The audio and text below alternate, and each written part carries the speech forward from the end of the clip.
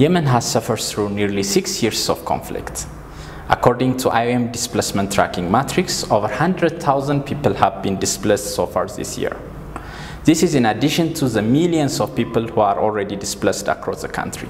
While the majority are fleeing conflict, COVID-19 has begun to emerge as the new cause of internal displacement.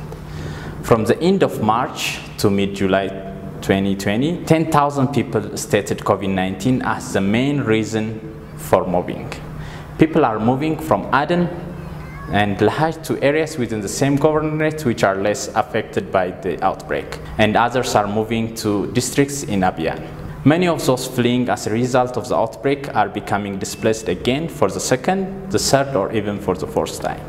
The water and sanitation situation in many of the displaced sites in Yemen is extremely worrying displaced Yemenis are finding it difficult to access essential services.